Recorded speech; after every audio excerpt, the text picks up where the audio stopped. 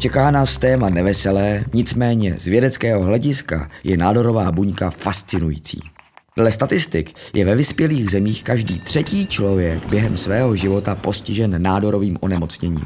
Nádorové buňky vznikají přeměnou normálních nenádorových buněk. Často pocházejí z jediné změněné buňky. Nádor je soubor abnormálních, geneticky změněných, transformovaných buněk, které rostou samostatně. A to zcela bez vnitřních kontrolních mechanismů. Množí se, hromadí se a v inkriminovaných místech začínají převažovat nad buňkami nenádorovými. Vzniká tumor. Je to však dlouhodobý a několika stupňový proces. Je zajímavé, že nádor není tvořen pouze nádorovými buňkami, ale obsahuje i značné množství dalších buněk, jako buňky vazivové tkáně, cév nebo buňky imunitního systému. A ty všechny mohou ovlivňovat jeho růst a chování. Nádorové buňky se ale liší od normálních buněk nejen vzhledem, ale také buněčným metabolismem. Takže jedí a pijí, co je napadne. Nádorové buňky si prostě v organismu velice zjednodušeně řečeno dělají, co chtějí. Například, že se stále množí a absolutně nereagují na signály k zastavení růstu. Na rozdíl od normálních buněk, které jsou tak organismem naprogramovány, odolávají buněčné smrti. Vyvolávají tvorbu cév, aby mohl být pak nádor, stejně jako normální orgán, zásobován krví. Mají schopnost pronikat do dalších tkání, udržet se v nich, pomnožit se a poškozovat zde životní funkce. Hajzly, plantážníci, lumpové. Přestože se buňky imunitního systému snaží o jejich destrukci, nádorové buňky odolávají. Jsou geneticky nestabilní a dále mutují. Tvoří metastáze, což je druhotné ložisko, které vzniklo odstržením od primárního a šíří se dále organismem. A právě vznik těchto druhotných ložisek je nejčastější příčinou smrti. Možná jste už slyšeli slova benigní a maligní. No nejsou to moc hezká slova. To první slovo slyší pacienti o něco raději, protože benigní znamená nezhoubný. Tento typ nádorů nepostihuje uzliny, neprorůstá do orgánů, netvoří metastáze a roste pomalu a má ohraničené okolí, což je důležité pro následnou léčbu pacienta. Ale i tento nezhoubný nádor může být nebezpečný a to svým umístěním. Nejzávažnější je růst nádorů v mozku nebo v páteřním kanále, kde trvale poškodí buňky, což následně může vést například k poruchám krevního oběhu, dýchání nebo pohybu.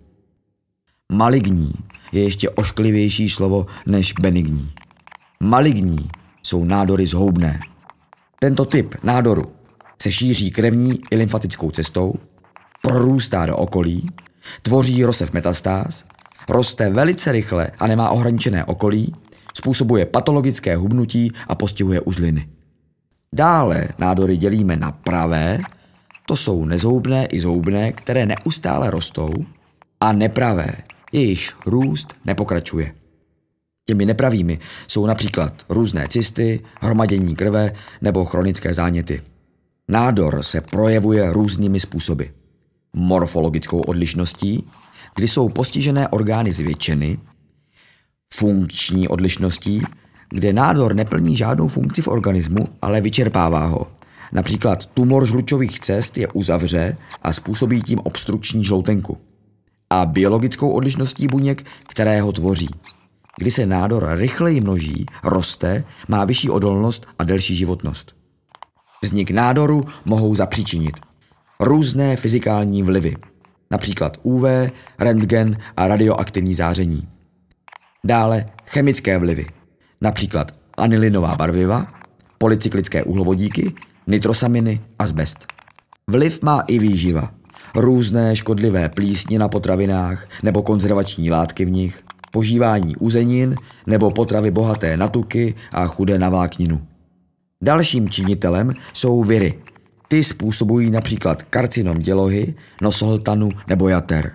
HIV nebo dokonce některé bakterie, které mohou například hrát roli ve vzniku rakoviny žaludku. Vliv mají i hormony, například u menopauzy nebo užívání anabolik. Riziko rakoviny obecně vzrůstá s věkem, takže s prodlužováním lidského života stoupá i riziko, že se dožijeme rakoviny. To je tedy absurdní. Čím déle žijeme, tím více, abychom se obávali. A v neposlední řadě má vliv i dědičnost. Ta hraje roli u nádorů prsů, prostaty a tlustého střeva. I přesto, že některé vlivy nedokážeme eliminovat, například posledně zmíněnou dědičnost, důležitým faktorem před vznikem nádorového bujení je prevence. Kromě preventivních prohlídek je důležitým faktorem i vlastní sledování změn ve svém organismu. A pokud se nějaké objeví, tak je rozhodně nepodceňovat. Současná medicína v léčbě nádorů za posledních několik desetiletí pokročila, respektive poskočila o velký kus.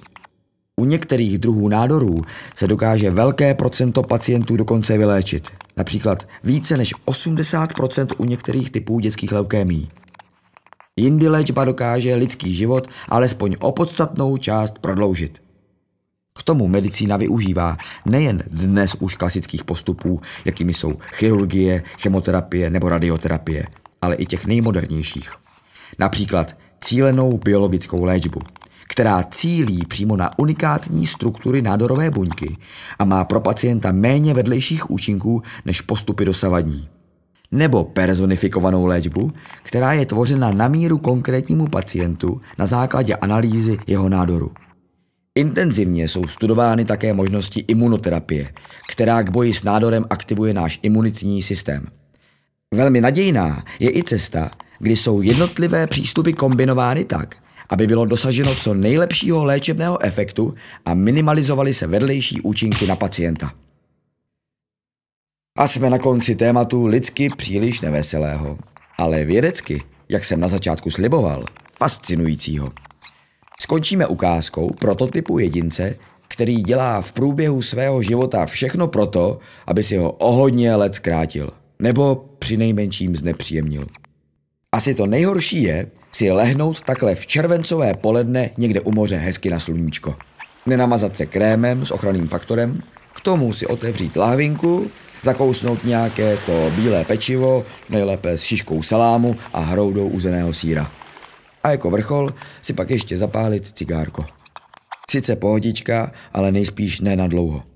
Jakou cestou se ale vydáme, záleží na každém z nás. Věřím, že někteří z vás se dokonce vydají i cestou ještě trnitější a začnou se věnovat studiu. Odborníků na boj s nádory totiž nebude nikdy dost. Bohužel.